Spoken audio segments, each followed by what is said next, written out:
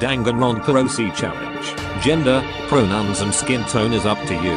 The hair length is the opposite to that of your favorite Danganronpa character. If your favorite has short hair give your Ock long hair and if they have long hair give your Ock short hair. Give your Ock medium hair if your favorite has medium hair. Their hair color is the color of your shirt. Their eye color is your favorite Danganronpa character's hair color. Their ultimate talent is your dream job. Example. Ultimate animator. Ultimate writer. Ultimate actor. Ultimate baker. And more. If you have no dream job or are unsure, put three question marks as their talent. Their clothing style is determined by your favorite clothing style. Example. Gothic style. Formal style. Casual style. And more. Use a color scheme generator for their clothing color scheme. Whether they are a blackened, victim, survivor or mastermind is up to you. Now choose a fitting name for them and show your finished result.